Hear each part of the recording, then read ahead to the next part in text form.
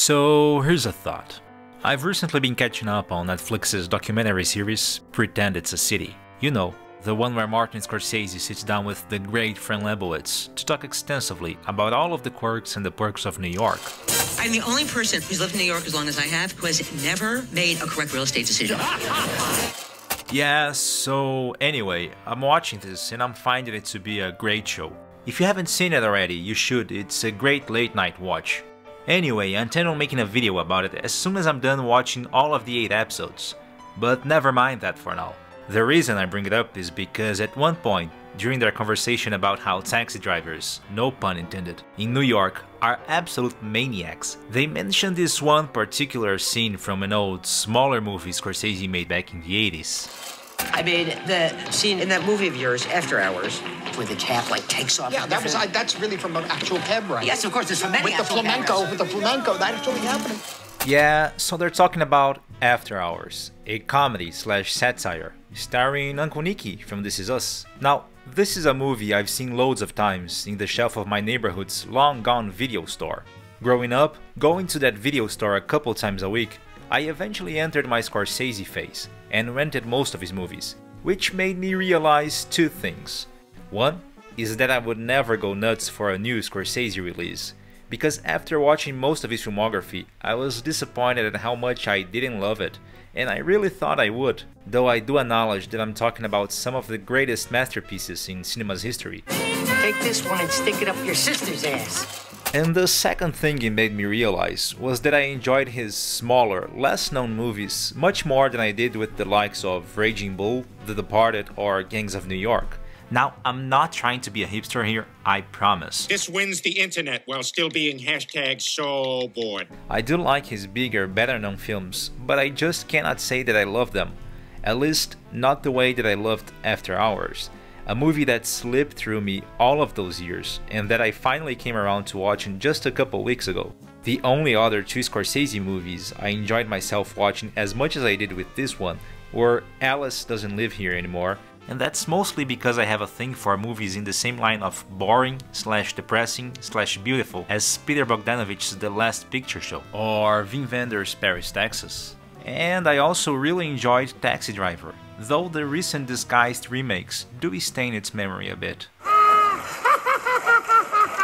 Anyway, the first thing that struck me while watching After Hours was seeing this raw version of what New York City looked like back in the 80s. Because if you've been to New York recently, and by recently I mean the past 20 years, you'll know that the city Scorsese presents us with in this movie has nothing to do with the city we know nowadays. His New York City is more of a dreamlike version of the real thing. In many ways, it's got the same underworld slash underground slash trashy slash romantic vibe of Stanley Kubrick's New York in Eyes Wide Shut. But if watching Eyes Wide Shut made me feel like I was looking into something I shouldn't be looking at all, something forbidden and wrong, but that I just couldn't keep my eyes from it, Scorsese's New York made me feel welcome to peeping. Don't get me wrong, the city here is just as trashy and dangerous as the one presented by Kubrick, perhaps even more dangerous. But the absurd journey that this one ordinary man embarks on, one late weeknight, while trying to get laid, is so impossibly funny and surprising that I felt invited to watch and to laugh hard at the ludicrous plot, one crazy scene after the other.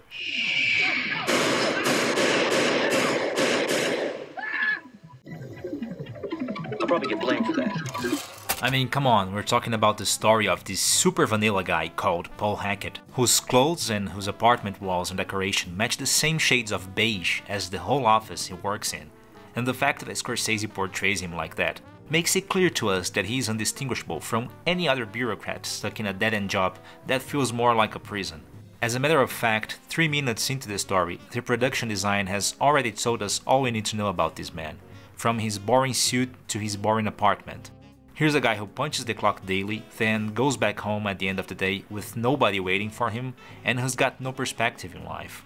I mean, the highlight of his day is reading Henry Miller at his local diner, which is precisely the place where his adventure begins. Out of the blue, one regular weeknight as he manages to pick a strange girl's phone number, later deciding to call her and meet her at her friend's loft downtown. Now, downtown Manhattan means one thing to us nowadays, but back in the 80s apparently, the place was the stuff of Greek mythology.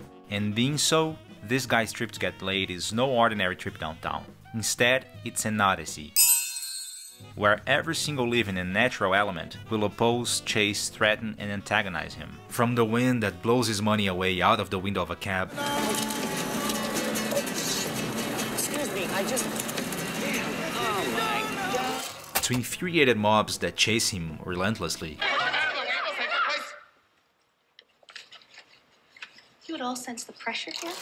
This whole Odyssey aspect of the story becomes very clear right at the beginning of the movie when our modern day regular and boring protagonist enters the aforementioned taxi in order to get downtown. Because here, what may seem like an ordinary scene of a character in a cab is in fact an old artifice used in the classic epic stories and poems where the traditional hero gets transported from his world to the underworld, a place where he will face dire troubles. Through referential imagery and symbolism, we can understand that the taxi here evokes the remembrance of the boat of the dead souls that transports the recently perished from earth to hell, something that is sung about in many classical poems, from Homer's Odyssey to Dante's Divine Comedy. It really helps to imagine the scenery of this cab drive downtown as in comparison to Delacroix's painting of Dante's Inferno.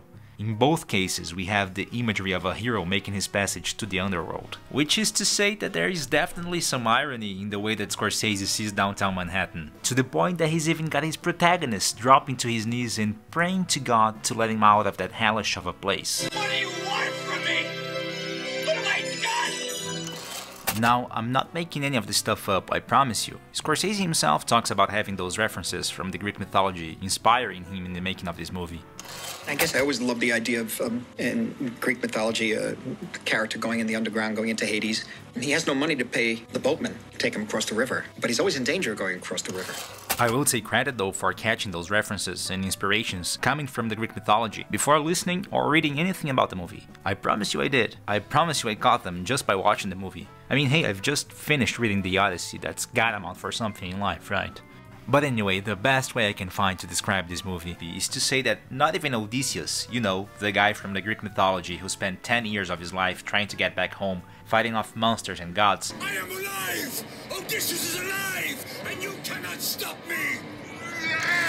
Well, not even him would be able to make his way back home from a night out in Soho back in the 80s. Because from the get-go, the screenplay written by Joseph Minion turns downtown Manhattan into a modern and urban version of any mythological hero's nightmare. Much in the same way as James Joyce did with Ulysses, transporting the classical Greek epic told in the Odyssey to the streets of his contemporary Dublin.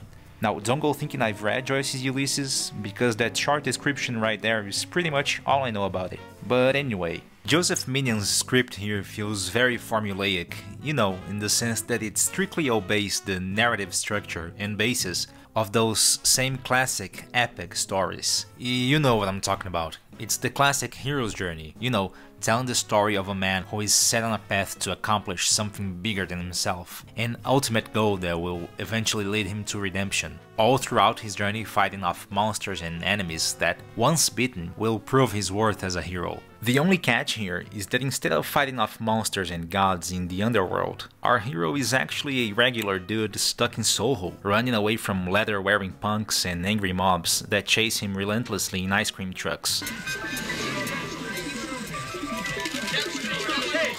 Though you do have the occasional Medusa turning people into statues. Lady, let me out of this thing. Now. Do you hear me? Let me. But also, his ultimate goal is by no means some noble act of bravery, like saving a lady in distress. In fact, all he wants is to get back home safely. I really just want to go home. And if in the classic epics, the narratives come full circle when the hero accomplishes his deed in a cathartic moment, finally learning something of value about himself and about the world surrounding him, here, the brilliant irony of this hidden gem of a movie is that our hero learns nothing more than to stay away from Soho after hours. Kill those barbarians! Kill them! All in all, here is a movie worthy of an 8 out of 10. And hey, Cheech and Chong makes special appearances. See what happens when you pay for stuff? Somebody rips it off. Yeah, so thank you so much for watching this video. If you enjoyed it, don't forget to subscribe for weekly content and make sure to leave a comment down below telling me what are some of your favorite Scorsese movies. See ya!